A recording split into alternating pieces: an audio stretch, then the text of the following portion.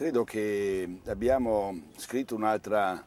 piccola ma utile e importante pagina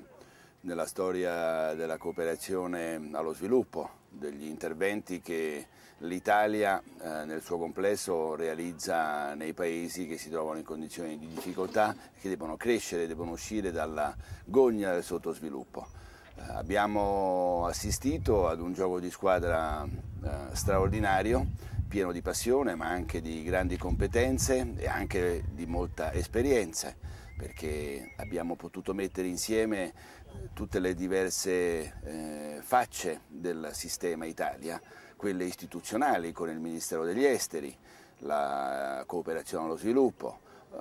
la Presidenza del Consiglio con il Dipartimento della Protezione Civile, il mondo del volontariato, quel volontariato che è sempre stato un po' eh, la punta di diamante, soprattutto nella cooperazione africana e nel settore della sanità ha certamente scritto pagine molto importanti e molto significative non solo nel sud del Sudan ma anche in tanti altri paesi eh, del continente africano. Il QAM, eh, uno dei nostri fiori all'occhiello come sistema paese, eh, ovunque essi sono andati, ovunque essi hanno avviato programmi di cooperazione, hanno sempre eh, lasciato il segno della loro testimonianza, del loro credo in un rapporto davvero basato in modo paritario uh, sull'uomo. Le testimonianze sono tante, non possiamo non ricordare anche in questa occasione eh, il sacrificio di Maria Bonino, eh, che eh, lontano da questo paese eh, però ha dato la vita per gli ideali e per quelli che sono i valori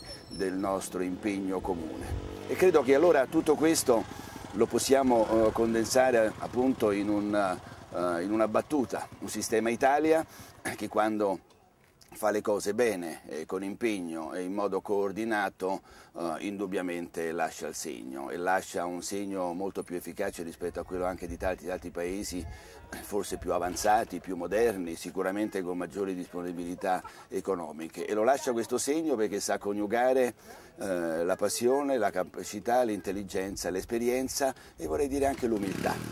l'umiltà di non porsi in cattedra, di, voler insegnare a tutti i costi, ma invece di condividere eh, con la gente del posto i problemi e insieme identificare le soluzioni.